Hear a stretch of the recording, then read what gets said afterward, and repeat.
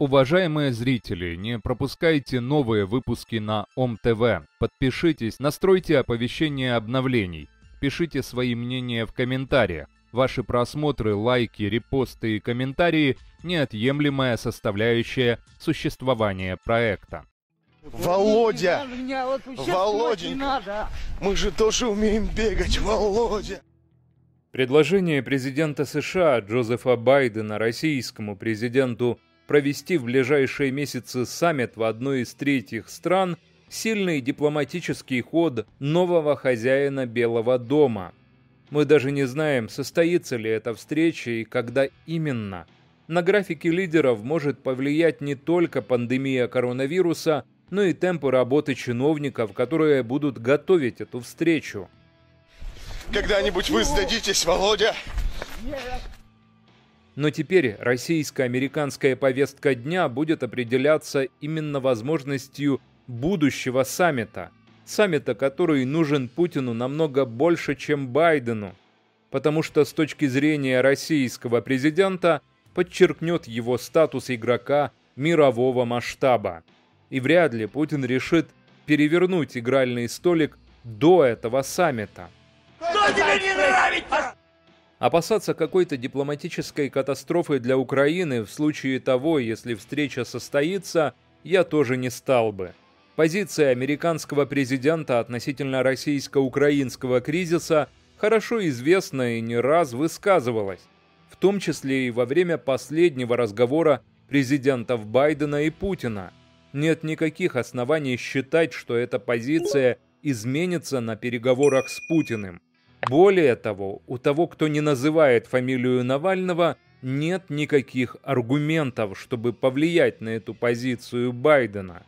Мы считаем, что в отношениях с Россией предстоят трудные времена. Они будут сопряжены с серьезными вызовами. Они потребуют от Америки отстаивать свои интересы. Реальный предмет переговоров – это вопрос о готовности или неготовности России отказаться от дальнейшей агрессии – и вопрос цены, которую Россия заплатит за это продолжение. So what price must he pay? The price he's going to pay, well, you'll see shortly. Считать, что саммит повлияет на сам кризис, было бы наивным. Путин не собирается уходить из Донбасса и уж тем более из Крыма, а у Байдена нет инструментов для того, чтобы его оттуда выкурить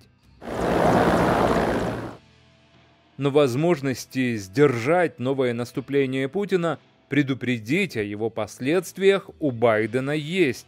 Вот эти предложения и будут озвучены. Если вы откажетесь, они вас зарежут.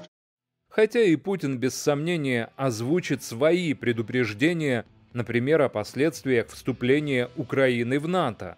Но это тоже не так уж важно, поскольку пока что Такое вступление скорее вопрос теории, а не практики. Своим предложением Путину Байден просто дал украинцам несколько месяцев, а может быть и лет, кто знает, передышки. Дмитрий Песков также прокомментировал заявление украинского президента Владимира Зеленского о том, что единственный путь к окончанию войны – вступление Украины в НАТО. В Кремле полагают, что такое развитие лишь усугубит внутриукраинские проблемы. Теперь вопрос в том, как украинцы этим шансом воспользуются. Что будет происходить? Укрепление демократии или популистского авторитаризма? Усиление армии или трата денег на новые бессмысленные проекты ради рейтинга и самолюбования?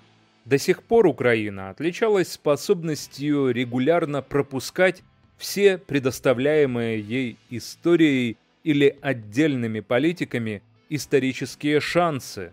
Вполне возможно, что и сейчас ситуация повторится.